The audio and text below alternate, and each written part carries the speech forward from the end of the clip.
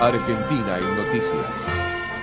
Creció un 10% la cantidad de argentinos que viajó al exterior. Un informe del Ministerio de Turismo y el INDEC indica que en julio, mes de las vacaciones de invierno, salieron del país 218.437 personas, un 9,9% más que en igual mes de 2012, y gastaron 275 millones de dólares. La medición oficial se elabora sobre la base del tráfico en los tres principales aeropuertos internacionales del país, Ezeiza y Jorge Newbery en Buenos Aires y el de la provincia de Córdoba, además del puerto de Buenos Aires.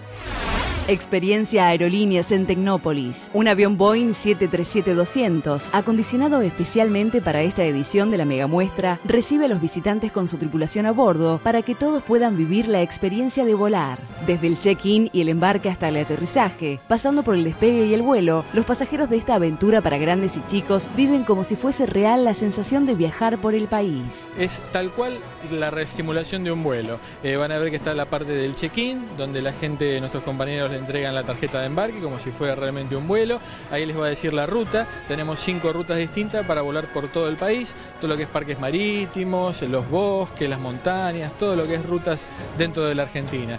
Una vez después que hacemos el preembarco, esperamos ahí el vuelo ya que está todo preembarcado tomamos acceso al avión por la escalera y ahí entonces tenemos 60 asientos ubicados todos cómodamente para que realmente sea un avión de verdad, es un avión de verdad que están volando, es una vez que comienza el vuelo, ahí entonces empieza a ver todas las imágenes que demuestran todo lo que es todo un despegue, todas las imágenes de Argentina y el aterrizaje. El Gobierno Nacional oficializó el aumento de topes para las asignaciones familiares. El tope para acceder al beneficio, que era de 8.400 pesos por cada cónyuge, pasa a 15.000 pesos, mientras que el de 16.800 pesos por grupo familiar se eleva a 30.000 pesos y se aplicarán a partir de este mes. Argentina en noticias. Panorama informativo de argentina.ar